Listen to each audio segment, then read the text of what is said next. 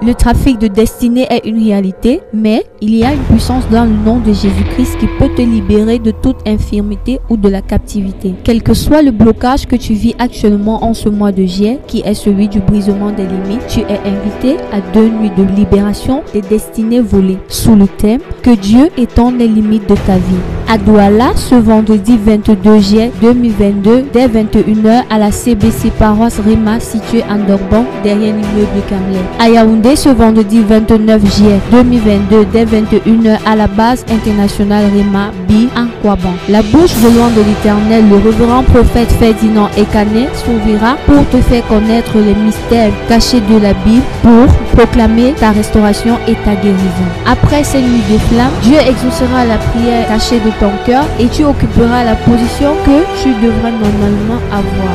Contact 680 79 66 03.